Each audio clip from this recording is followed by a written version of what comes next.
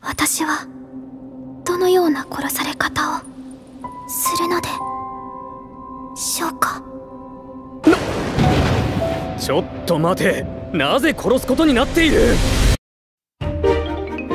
深い深い森の中荒れ果てた城に男が一人きりで住み着いていた。人々から恐れられ意味嫌われる魔術師名はザガンぜ私を買われたのですか？お前が知る必要はない。何を言ってるんだ俺は。だが闇オークションで一目惚れして有り金はたいて買い取ったなど誰がどう聞いても変態だ。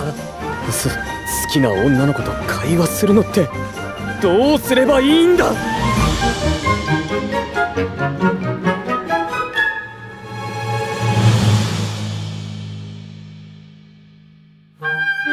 座ったらどうだ？子の用意もご主人様の分しか。ではここに座るがいい。ご主人様の仰せのままに。本当に座っちゃったよ！